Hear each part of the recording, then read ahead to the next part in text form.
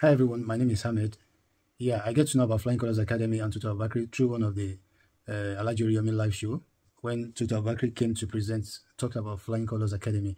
And I so much respect Alajiri Yomi that whoever is coming there to on his live program to present an advert, the advice always validated. So I said, okay, I have to give, uh, I decided to give it a try by enrolling our daughter to the academy. Sincerely, I never expected less from him because when I watched him presenting Flying Colors that day, I so much respect his presentation. It was very articulate and straight to the point.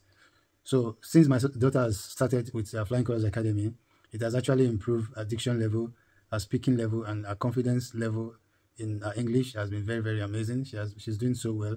I always know that she was so excited. She's always excited when she's having the class. Ah, okay, maybe the, the tutors are very, very good. So I was opportune to watch one of her lesson.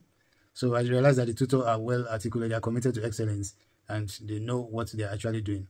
So sincerely, I would recommend Flying Colors Academy to anyone and to parents, of which I've actually recommended Flying Colors Academy to few of my friends, and I know they've also have their children registered with Flying Colors Academy.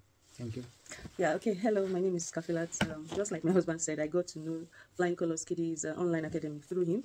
And ever since we registered our daughter into the academy, it has been no regret for me personally. I think it has helped our communication skills, yeah, both in writing and speaking, it's quite okay, like very very okay. And also um, the mood of teaching of the tutors, it's something amazing too. You know, it makes the kids come back for more. You know, and whenever they have their classes, she's always excited. And also they have this um, weekly um, assignments which they give to the kids. And this i think doesn't keep them idle. It makes them refresh their memories you know.